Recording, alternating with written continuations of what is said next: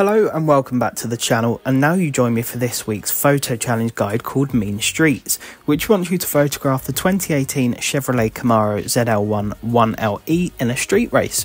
So first of all, we want to get the car. So this is the 2018 Chevrolet Camaro ZL1 1LE, and it will set you back 105,000 credits from the auto show, or you may be able to get one a little cheaper in the auction house.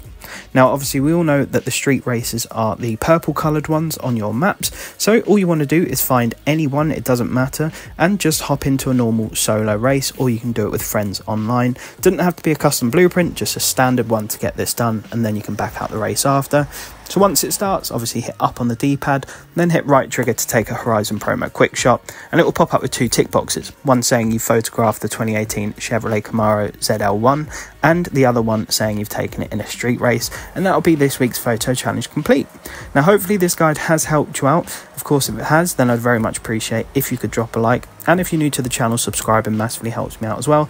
Don't forget to stick around too, as later on I'll be uploading this week's Forzathon guide as well. But apart from that folks, I want to thank you very much for watching, make sure you stay safe, and take care.